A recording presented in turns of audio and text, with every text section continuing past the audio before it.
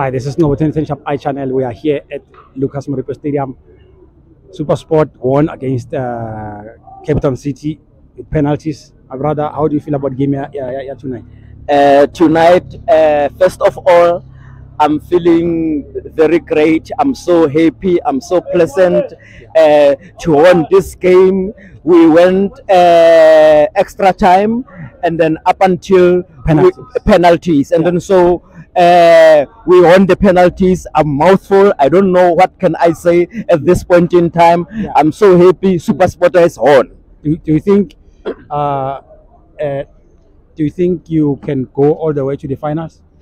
hopefully hopefully we can all the way uh, to the finals i don't doubt anything i don't doubt the boys the boys are playing a very good football Yeah. i'm happy about the goals Yeah. our goalkeeper has won the man of the match And so he- it yeah. shows that uh, we can reach uh, uh, uh, The the, final- finals yeah. yes Mm. And your goalkeeper was in was was in Ivory Coast, so it shows what that experience. Yeah, yeah, yeah, yeah, yeah. Afcon in in in in, in Mereke.